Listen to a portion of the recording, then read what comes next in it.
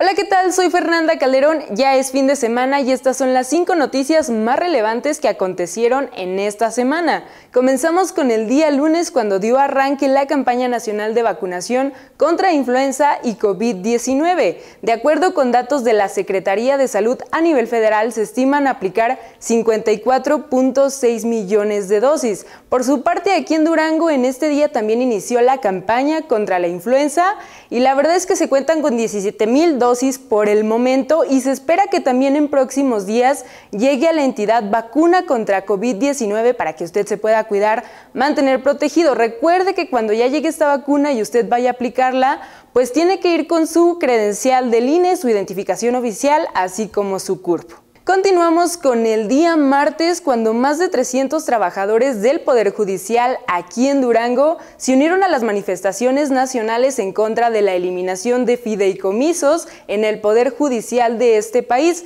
Argumentaron que se estarían viendo afectados más de 450 empleados en nuestra entidad. Por su parte, en la Cámara de Diputados fue aprobada la eliminación de 13 de los 14 fideicomisos, lo cual representa un recorte de 15 mil millones de pesos. Sin embargo, aún falta que esto pues, sea aprobado por el Senado en el Pleno y esto tendrá lugar el próximo martes 24 de octubre. Seguimos con el día miércoles cuando tuvieron lugar pues diferentes manifestaciones en diferentes partes del mundo, específicamente en embajadas de Israel y Estados Unidos. Las personas expresaban indignación y es que el pasado 17 de octubre tuvo lugar el bombardeo a un hospital en Gaza que dejó más de 500 muertos. Esto se da en el marco del actual conflicto entre las autoridades palestinas y el grupo islamista. Este hecho pues dejó más de 500 sin embargo Israel niega ser el autor de este incidente. Continuamos con el día jueves cuando el INEGI dio a conocer los resultados de la última medición sobre la percepción de inseguridad en diferentes ciudades de interés.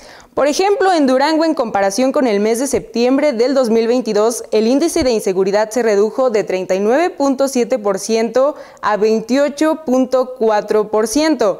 A nivel nacional, 6 de cada 10 habitantes de zonas urbanas se sienten inseguros en el lugar donde viven.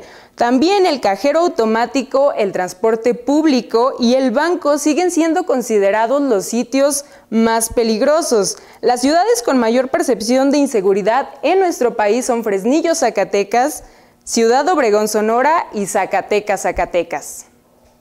Finalizamos con el día viernes cuando lamentablemente pues nos llega una mala noticia y es que una menor de tan solo dos años de edad perdió la vida luego de que fuera atacada por un perro de la raza Pitbull en Gómez Palacio. Recibió mordidas en el rostro y la cabeza. Presuntamente la menor se encontraba en el domicilio de una de sus vecinas y en un momento dado se salió del patio trasero, donde se encontraba el can, el cual se lanzó contra ella y la atacó en el rostro y la cabeza. Finalmente, la niña fue llevada a las instalaciones del Hospital General, donde de inmediato fue ingresada a cirugía, pero pese a los esfuerzos de la ciencia médica, pues lamentablemente perdió la vida. Un hecho pues sí trágico el tema de los perros que de repente pues no los tenemos en las condiciones más óptimas, también va muy de la mano del tema de los perros callejeros, que es un tema de salud pública. En fin, con esto cerramos las cinco noticias más relevantes que acontecieron en la semana. Sigue enterándote de lo más importante aquí en el Siglo TV.